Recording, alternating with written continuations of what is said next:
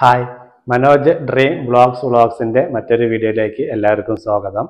ഞാൻ ഇന്ന് പറയാൻ പോകുന്നത് നമ്മുടെ ഒരു സബ്സ്ക്രൈബർ ആയിട്ടുള്ള ജിതിൻ ജോസ് നമ്മളോട് ഒരു ചിട്ടി എക്സ്പ്ലെയിൻ ചെയ്യാൻ പറ്റുമോ എന്ന് ചോദിച്ചിട്ടുണ്ടായിരുന്നു. അത് ഒരു ലക്ഷം വെച്ചിട്ട് മുപ്പത് മാസം തുടങ്ങുന്ന മുപ്പത് ലക്ഷത്തിന്റെ ചിട്ടിയാണ് അദ്ദേഹം ചോദിച്ചത്. അപ്പോൾ ആ ചിട്ടിയെക്കുറിച്ചാണ് ഇന്ന് പറയുന്നത്.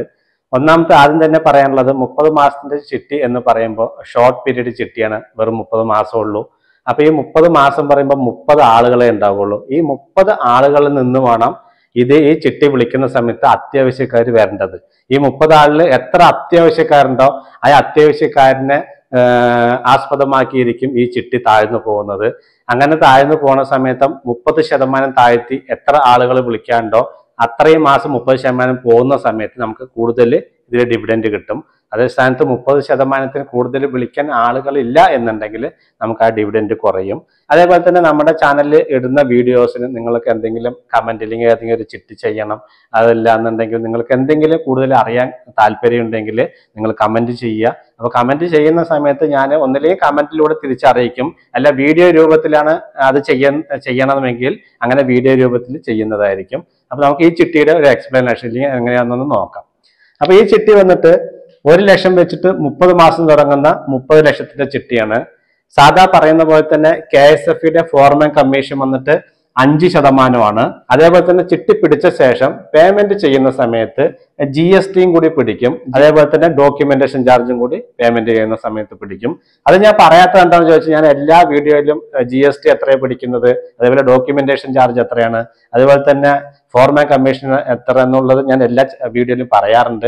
അപ്പൊ അത് പിന്നെയും റിപ്പീറ്റ് ചെയ്യണ്ട എന്ന് കരുതിയിട്ടാണ് ഞാൻ ഇതിൽ പറയാത്തത്.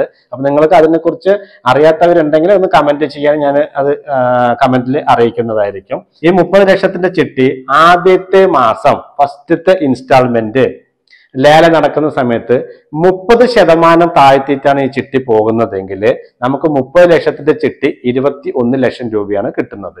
അതായത് ഒമ്പത് ലക്ഷം രൂപ മുപ്പത് ശതമാനം താഴ്ത്തുമ്പോൾ ഒമ്പത് ലക്ഷം രൂപ നമ്മുടെ കയ്യിൽ നിന്ന് പോകും. അങ്ങനെ നമുക്ക് കിട്ടുന്നത് ഇരുപത്തി ഒന്ന് ലക്ഷം രൂപയാണ്.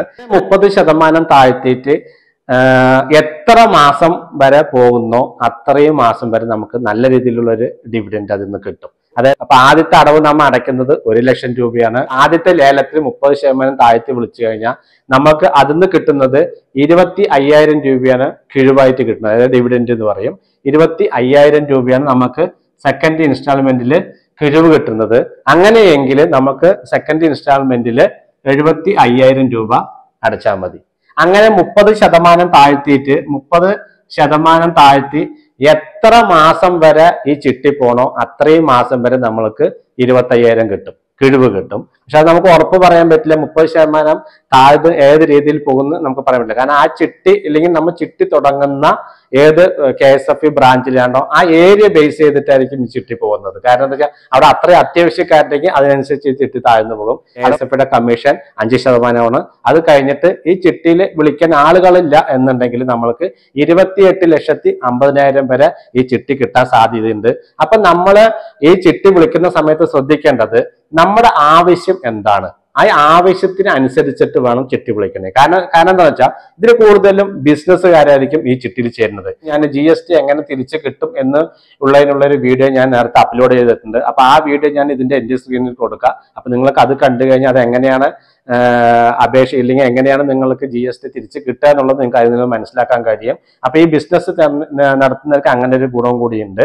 അപ്പൊ നമ്മൾക്ക് നമ്മുടെ ബിസിനസ് എന്താണ്? ആ ബിസിനസ്സിലേക്ക് നമ്മൾ ഈ ചിട്ടി താഴ്ത്തി വിളിച്ചു കഴിഞ്ഞാൽ അപ്പൊ നമ്മൾ ഈ ചിട്ടി നമ്മൾ ചിലപ്പോൾ മുപ്പത് ശതമാനം താഴ്ത്തി വിളിക്കുകയാണെന്നുണ്ടെങ്കിൽ അങ്ങനെ താഴ്ത്തി വിളിച്ചു കഴിഞ്ഞാൽ ആ എമൗണ്ട് നമ്മൾ ബിസിനസ്സിലേക്ക് ഇറക്കുകയാണെങ്കിൽ നമ്മൾ ഈ താഴ്ത്തി വിളിച്ച സംഖ്യ അതേപോലെ തന്നെ നമുക്ക് ലാഭം കൂടി ആ ബിസിനസ് ആ ബിസിനസ് നിന്ന് പ്രോഫിറ്റ് ഉണ്ടാക്കാൻ കഴിയണം. എങ്കിലാണ് നമുക്ക് ഈ ചിട്ടി താഴ്ത്തി വിളിച്ചുള്ള ഗുണമുള്ളൂ അല്ലാത്ത പക്ഷം നിങ്ങൾക്ക് ചിലപ്പോൾ നഷ്ടമായിട്ട് തോന്നാൻ സാധ്യതയുണ്ട്. അപ്പൊ അതുകൊണ്ട് നിങ്ങൾ ഈ ചിട്ടി ചേർന്ന് ചിട്ടി വിളിക്കുന്ന സമയത്ത് വളരെ ശ്രദ്ധിക്കണം. അതേപോലെ നമ്മുടെ എന്താണോ ആവശ്യം ആ ആവശ്യത്തിനനുസരിച്ച് ചിട്ടി കൂടുതൽ സംഖ്യ കിട്ടുന്നവരെ വെയിറ്റ് ചെയ്യാനാണെങ്കിൽ വെയിറ്റ് ചെയ്ത് നിങ്ങൾക്ക് വിളിക്കാം. അല്ലാത്ത പക്ഷം നിങ്ങളുടെ ആവശ്യത്തിനനുസരിച്ച് ഈ ചിട്ടി വിളിച്ചെടുക്കാം.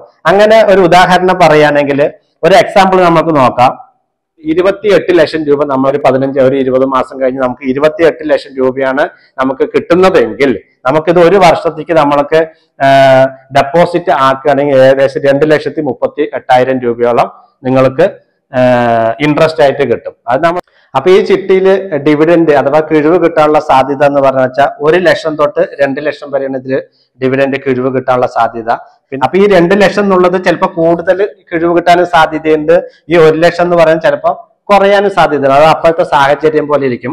അത് കാരണം എന്താണെന്ന് വെച്ചാൽ ഇത് മുപ്പത് മാസം ചിട്ടിയായതുകൊണ്ട് നമ്മളിങ്ങനെ പറയുന്നത്. അതേ സ്ഥാനത്ത് നൂറ് മാസം ചിട്ടിയൊക്കെ ആകുമ്പോൾ അതിൽ നൂറ് ആളുകൾ ഉള്ളത് കൊണ്ട് ആവശ്യക്കാർ കൂടുതലായിരിക്കും. അതുകൊണ്ട് നല്ല രീതിയിൽ ചിട്ടി താഴ്ന്നു അതുകൊണ്ട് നല്ല രീതിയിൽ ഡിവിഡൻഡ് കിട്ടും. അപ്പൊ ഈ ചിട്ടിയെ കുറിച്ച് ഇത്രയാണ് പറയാനുള്ളത്. പിന്നെ ജിതിൻ ജോസ് ആവശ്യപ്പെട്ട ഒരു ചിട്ടിയുടെ ഡീറ്റെയിൽസ് ആണ് നമ്മൾ എക്സ്പ്ലെയിൻ ചെയ്തത്.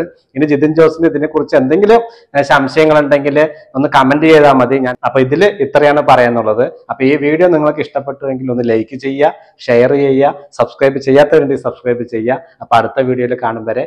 Bye bye